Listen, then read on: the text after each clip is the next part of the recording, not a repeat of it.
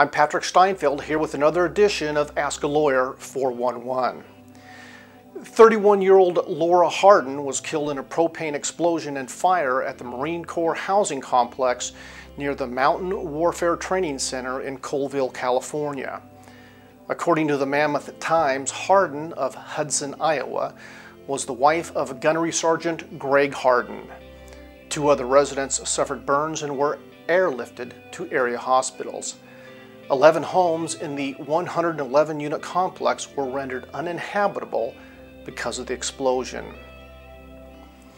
My thoughts and prayers are with Sergeant Hardin and his family during this difficult time.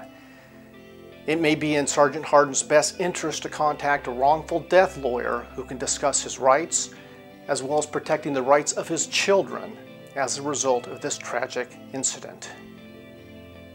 If you lost a loved one in an accident and have any questions about your rights, please contact me for a free consultation.